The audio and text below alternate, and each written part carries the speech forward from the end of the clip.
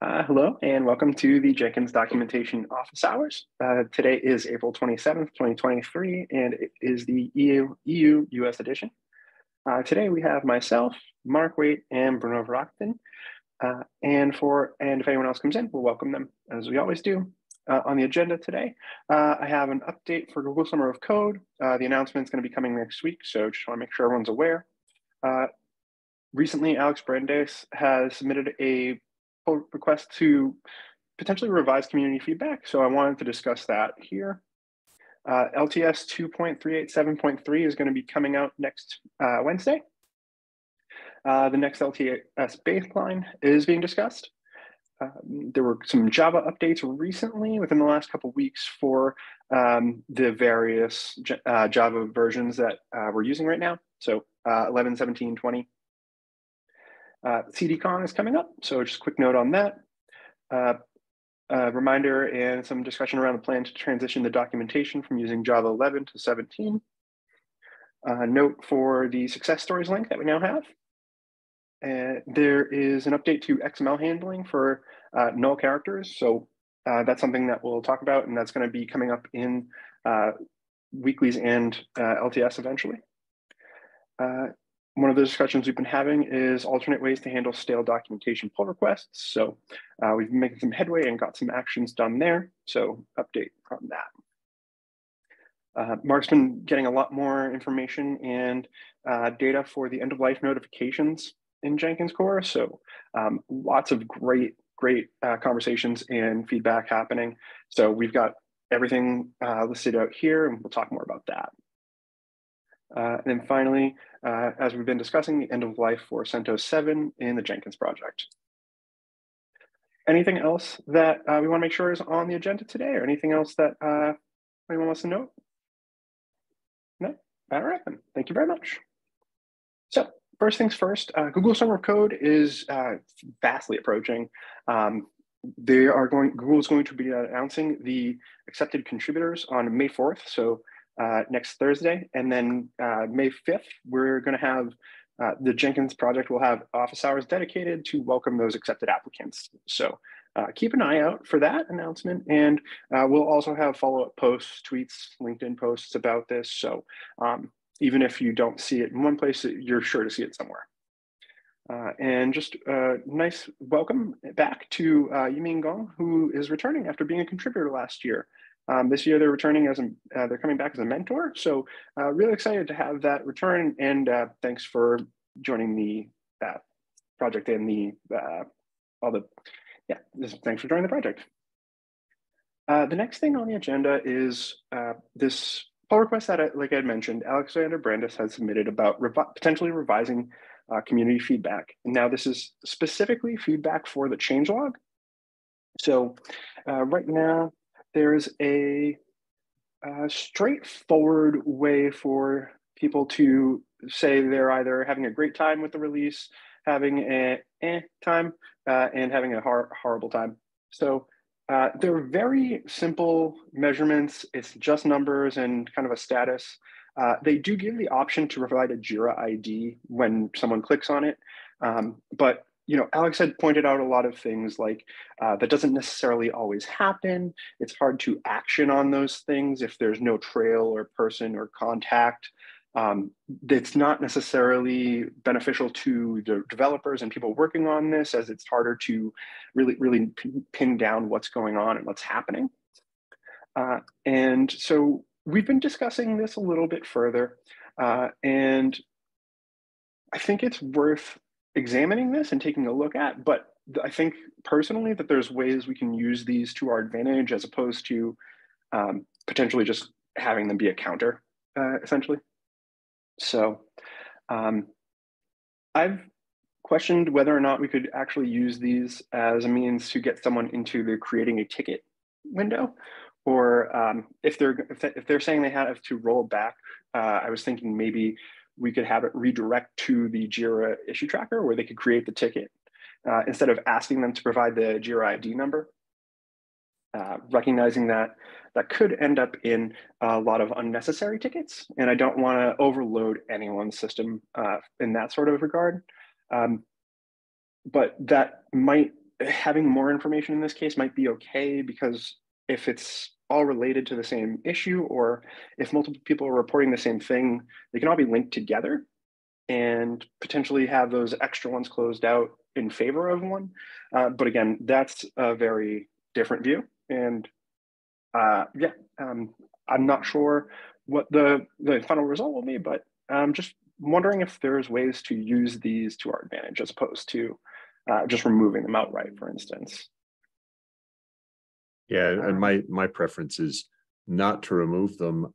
There have been a number of discussions about ways to improve them, but nobody willing to do the implementation work to implement the improvements. And and I'm I'm hesitant to lose the data that we're gathering right now to, to not have that in the future. Um, we don't have anyone who's committed to do a replacement for these, right? The rating system, if you scroll down a little bit, Kevin, you'll see, um, for instance, sometimes there's Jenkins 420 that's submitted or Jenkins one. Mm-hmm. And the bug the bug IDs are here we go on 375.1 you see Jenkins 2 and Jenkins 3 oh, yeah.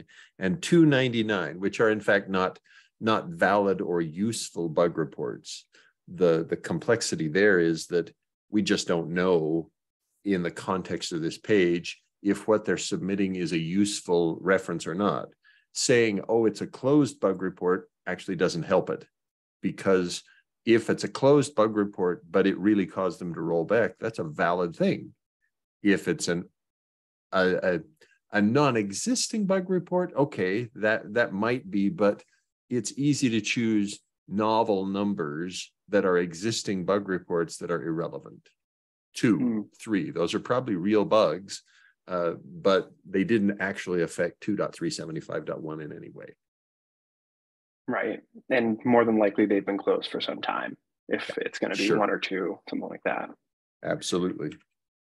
Since uh, I know we're up to 70 something thousand, but um, yeah.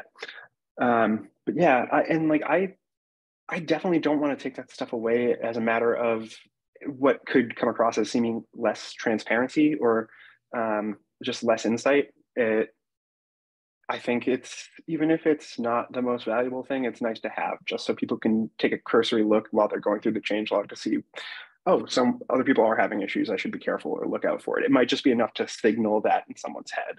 So great. Yeah. Uh, Bruno, any any opinion from you? No, I only discovered these uh, weather icons a few months ago. Um, I don't know. Uh, I think they are quite useful as they are. And you're right, uh, giving more freedom to the end user to declare new Jenkins uh, Jira issues or referring to non-existing bugs doesn't really make sense. I don't know how we should ameliorate that, but I'll keep an eye on your discussion, Kevin, Mark, Alexander, and so on, because maybe something good will um, come from that discussion. It's good as it is. It could be better, but I have no idea how better could be implemented. Yeah. Thanks so, for asking. Yeah. So, Kevin, if you open the weekly, we can see yeah. on already on page one above the fold, we can see two an example of a very useful use. And last week, uh, so you see under 2.402, 71156 is actually a very important, oh, we've got a regression there. And that, that one really matters. I understand why they rolled back given this description. Mm.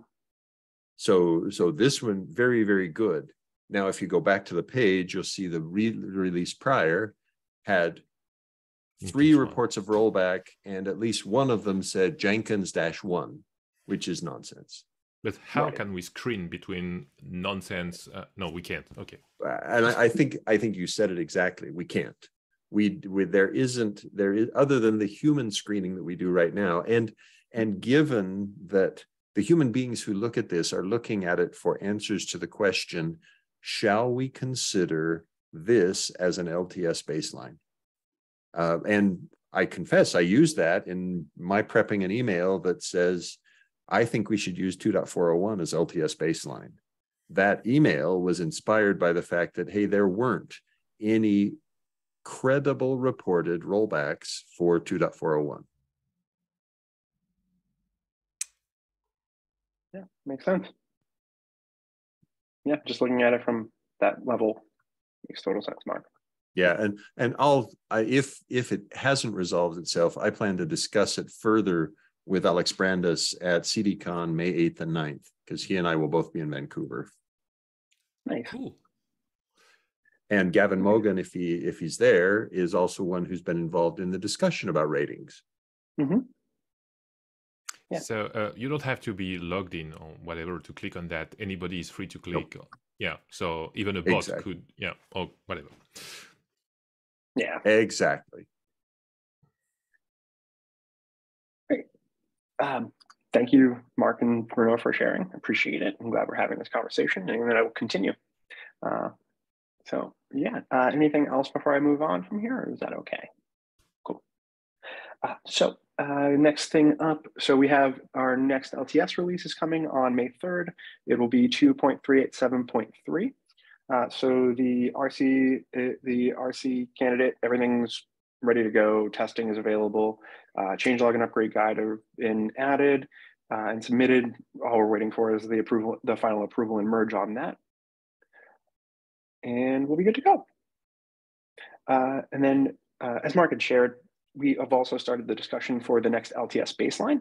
Uh, right now, the highest voted suggestion is 2.401. Uh, as Mark said, there were no real credible threats of rollback or anything that was reported. So seems like a good baseline to work from. And uh, yeah, it does have support from others as well. So uh, if you have any strong feelings one way or the other, please uh, check in on the mailing list and share. Uh, next up, there were recently some updates for uh, various Java versions from Temurin, uh, OpenJDK, and Oracle. We've put the Temurin ones here as they're the most reliable and uh, most used in as far as Jenkins goes. Um, and just they have 11.0.19. This is that latest release, uh, the 19th. It's got notes and um, there are, yeah, uh, this is something that everyone should just be aware of and make sure they're doing. Um, Mark, is there anything specific for the update uh, or why people uh, need to be aware of the update? So there were security fixes in in each of those. I I'm not aware of anything that specifically motivates you. You absolutely must upgrade immediately, but upgrading to get security fixes is a good thing. Okay, perfect. So it's just a recommendation for our users. If they want to, they can upgrade to those versions, but there is nothing yet in the documentation indicating that people should use Temurin and these versions of Temurin. Am I right? Well, actually, the documentation does describe that the Jenkins project prefers Temurin. Now, okay.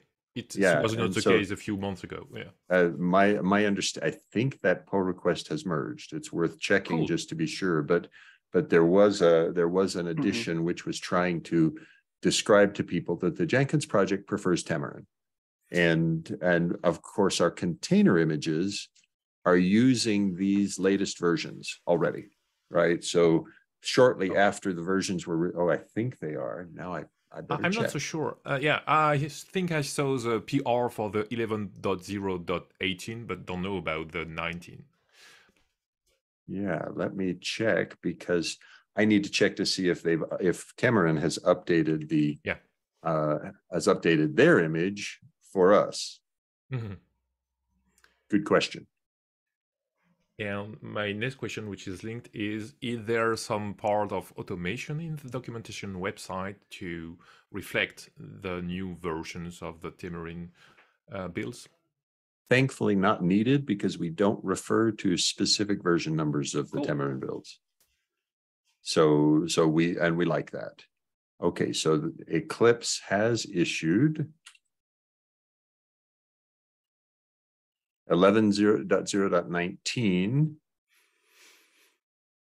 container images for, yes, so, so it's possible now for us to do the upgrade. It wasn't uh relatively few days ago, so we're gonna need a pull request to our Docker containers. Great. Thank you. Glad we got that. Thanks very much, Bruno. Thanks, Mark. Uh. Next up, so uh, CDCon is approaching. Uh, it's going to be May 8th and 9th. Uh, that's where the Jenkins Awards will be um, provided to the winners among the other CDF awards that will be presented there. So um, if you haven't already signed up or registered, uh, there's I think there's still time to do so and get over there. So um, if you're going to be there, come by, stop, say hey. Uh, Mark's going to be there, as he said. Alex Brandes will be there. Gavin Mogan uh, will be close enough that he might show up, but uh, otherwise, uh, will people will be there to represent Jenkins and share and talk. So uh, by all means, come on over. there's also going to be a handful of sessions regarding CDCI and Jenkins. So we have a recent blog post that just outlines a couple of those. Uh, providing some information. So uh, one from Fidelity, uh, one from one regarding Jenkins and other releases. So uh, there, and Mark's getting a, uh, well, Mark's going to be participating in two sessions. So really exciting to have that. So thank you, Mark, for representing.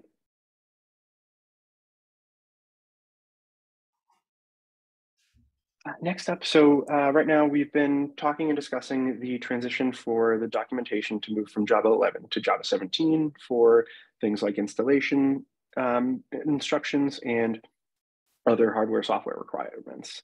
Um, we're not dropping Java 11, we're just transitioning to Java 17. It's got a longer uh, life right now, uh, has more functionality, faster testing, uh, and just provides overall better development resources for uh, anyone using it. So uh, I've created a GitHub issue that is uh, that contains the various pages that I found where this transition should be looked at and potentially happen. Um, it's mostly, like I said, mostly installation. Um, the Java upgrade instructions also need to be changed because right now it's talking about uh, the move from Java 8 to 11, so that will have to be updated as well. Um, but um, this is a result of the Debian 12 release that's uh, approaching. Uh, not sure exactly when that'll happen, but it will not be delivered with Java JDK 11. So this is uh, in advance of having to worry about that across the board. We can get ahead of it and we can start using 17 as a recommended option, may hopefully get people to migrate over sooner than later, uh, and that way have less to worry about when it does come time for end of life for Java 11. Um, we're not dropping Java 11 support at all it's Java 17 is also available full functionality, and we want to get people on that. So, uh, and more to come on that once we once I start getting into the transition, uh, we'll I'll provide more updates here. Uh, one of the other things that I wanted to note is that we recently had the success stories in the stories site uh, as a navigation link now in the nav bar, in the top nav bar here on jenkins.io.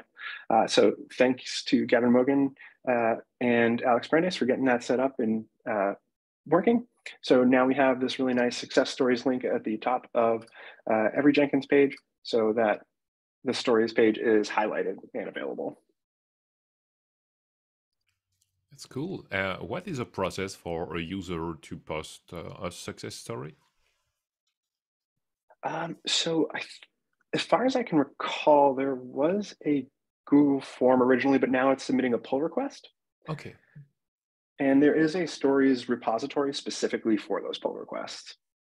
Good. So, Kevin, I think if you go yeah. back to the top level page, yep. we should be able to see. Oh, maybe not.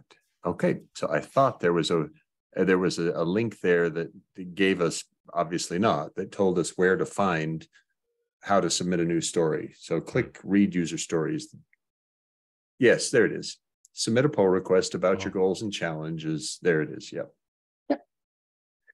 Yeah, and I think uh, I think if anything, it just needs to be updated to have like a, maybe a link to the correct repository to submit the pull request, so I can take care of that. No problem. Well, or scroll to the bottom or, of the page and let's see if it's got an improve this page link. Oh. Nope. Okay. Yes. So then that that should be a hyperlink.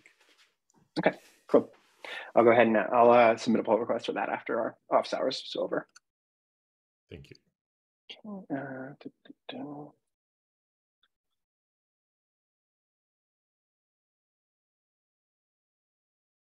do. Uh, great. Uh, next thing on the agenda that I wanted to uh, bring to everyone's attention is that uh, there was a recent update for how XML is handled in Jenkins, um, specifically with the use of the JUnit plugin. So uh, as it was before, uh, ASCII null characters could be both written and read fully without any issue. Uh, the recent change from uh, the KXML2 driver to standard StAX driver has made it so that uh, while the null can be written, it cannot be read. So um, if this is something that uh, you run into or are experiencing, you do need to update to the newest version of the JUnit plugin. Um, it was just pushed a couple days ago or uh, in within the last week, regardless. So um, this is a very, very recent change. It's going to be part of weeklies going forward. Uh, it did not make it into the 2.387.3 LTS, so uh, it will not be part of that, but um, this will be in effect going forward. So it is best to update everything now and take care of it. Um, So, there are Just uh, so everybody's clear, null is illegal in XML 1.1 as a data value. It's simply illegal. So we were writing illegal data and reading illegal data. And now we've we've switched with the the up, upgrade of this reader so that we will we will it- we now have the ability to write but not read. And now it's with the change to the JUnit plugin, which was the one thing we knew of that was writing null bytes it no longer writes nulls. So will there be a period of transition when people will get some errors uh, because of the read of the null, and then they will modify their dependencies, and then it will not be a problem anymore? Yeah, so if you're running, if you were running a a Uh, Jenkins weekly or prior to this, prior to the core change, which is 2.402 and earlier, or a Jenkins LTS, and you're running an older version of the JUnit plugin, it will it will give you, if I remember right, it gives you an error message that says, hey, I can't read this file. Okay, but if you have a recent version of Jenkins and the list of plugins updated, you won't face this issue. Correct. Okay. Correct. So by by current current version plus cur- current Jenkins core plus current JUnit plugin, you will not see an issue. So I won't see that. Yeah, Right. Thank you. Exactly. It's only if you're running an outdated outdated version that you could see it. Thank you, Mark, for adding the context there. And uh, there are actually uh, both a GitHub issue and um, Jira issue for this. So uh, I'll be sure to add those into the document uh, agenda just to make sure that those are available for, for context and historical purposes. Next up, uh, so we have five minutes or so left. I want to be conscious of everyone's time. So um, we've been discussing alternate ways to handle stale documentation pull requests in Jenkins.io. Uh, so we've been discussing if it's stale and not valuable, we close it. Uh, if it is valuable, however, we want to make sure that that information and that work is not lost. So uh, alternative ways to make sure that that gets uh, uh, kept as it is and can get additional eyes on it for anyone that might want to work on it or continue adding and fixing and updating. Um, some of the some of the pull requests require a little bit more, uh, more knowledge and more expertise in some areas, so uh, it may be tough. But uh, there's a great base to work from in all of these, and um, Meg um, Whitestone, or no, um, sorry, I can't remember Meg's last name right now. Mark. Meg McRoberts. Meg Roberts, yeah, um, has done an excellent job, and there's a bunch of pull requests that update a lot of the documentation um, that just have gotten stalled because they need some further additions, corrections, updates, and stuff. Um, so there's a lot of great stuff there that we can just take on and work from. Um, so we do have a stalled label that have been that has been applied to these pull requests as well. Uh, so uh, for anything older, it's marked stalled. We have that. Uh, we're just waiting to do the next step of what do we do with that. Um, putting it installed is good for now, but uh, ultimately we're going to need to make sure that it's available for other people. And um, if it's a good first issue, we can do that. Uh, if we put it in the issue tracker, that at least opens it up for other people to work on. Um, there's a lot of ways to go about that. Uh, something that we also talked about uh, with Alex Brandes is that uh, the Jenkins core repository has a proposed for closed label. Uh, so that's used for pull requests they won't accept, or they have uh, an inactive submitter that are not responding or updating. So again, something similar, we could use that, we could implement and use that in Jenkins.io repository, no problem. Uh, and it would give us something else to at least signify and notice on the pull request page. Um, Bruno, Mark, are there any other ideas or suggestions about how we could potentially uh, preserve those a little and make them more um, visual? Actually, I think we take that as our plan and just agree that we think that's what we're going to do. Okay, that works. The only problem I see with that is that if ever uh, a submitter of a pull request re remove the branch from his fork, uh, we will lose the information nonetheless, if I'm not mistaken. You know, if you create a PR, then you remove your branch, uh, the information you wanted to incorporate into the main branch just disappears. Hmm, I thought that it was it was retained in the pull request. I may be wrong. Uh, I, I I thought it was so, but nonetheless, because I, if I rec- recall correctly, even if I believe it survives, even if they delete their fork. Okay, cool. But it, it's easy to, to check. Good idea. Yeah. We yeah. may want to check it. Yeah, definitely.